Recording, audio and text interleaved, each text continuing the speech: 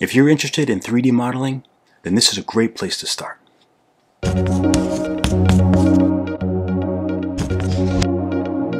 What's up guys, my name is Dave Reed, aka Drug Free Dave. So you may know me as a 2D illustrator, cute animals, things like that.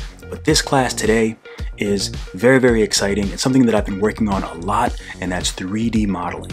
So if you want to get into 3D modeling, this is a great beginner course for someone who's never done 3D, doesn't understand 3D, and just wants to start fresh, start from scratch. And let me tell you, it is so addicting, it's so fun. It actually helps my 2D illustration. It helps me think of things in 3D because you're actually working in 3D. So we're gonna use Nomad Sculpt. It's an amazing 3D application. It's only $15. It's, a, it's just a one-time buy, so it's not like a, a prescription, prescription, prescription, subscription. It's not a subscription.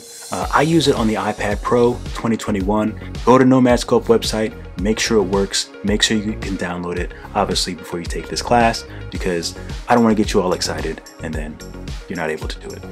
Again, it's worth the $15. It's amazing. I think, I know you're gonna love it once you get started.